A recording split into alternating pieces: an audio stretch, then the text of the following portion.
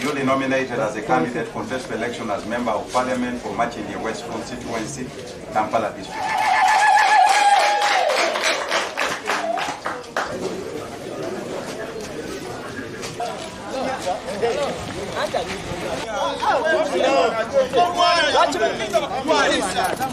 You handcuff them. Congratulations.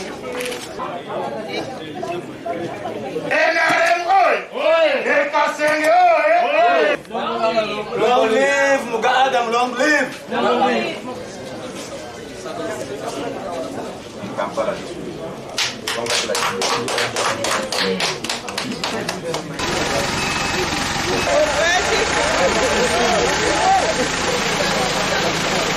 Congratulations.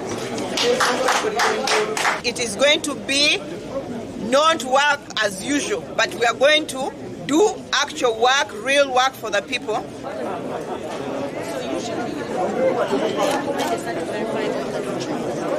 I give one single promise to the people of Kawempe that I'll simply continue with the services I have been uh, rendering, including, uh, of course, construction of um, wells, um, the sports with the, the youth and then um, women.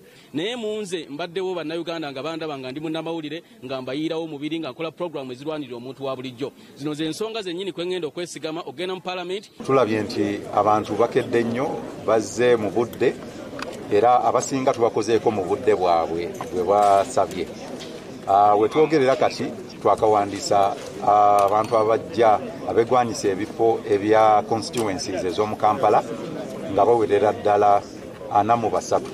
Abo abegwanyiza ekyawuma n'emp ekya district balinga basatu. Ah, olunaku olwaleero tukyasuubirayo abantu abawerera ddala. Ah, kubanga aba baasuubira okujja basuuka mu makumi ataano